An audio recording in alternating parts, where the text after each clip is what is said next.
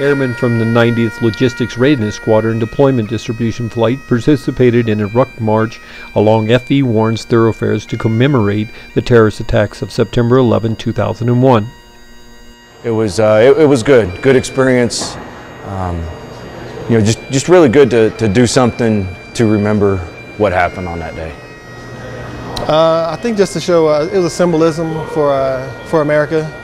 You know, that's what we all wear the, wear the, wear the uniform for. Uh, the ruck, it's kind of like a burden, and everybody who went through 9/11 carries a burden. We're just physically showing that.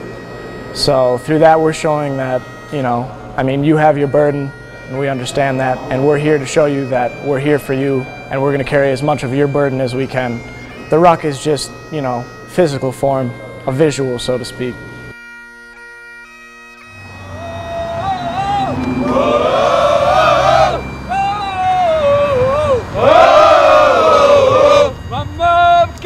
Please! My mama gets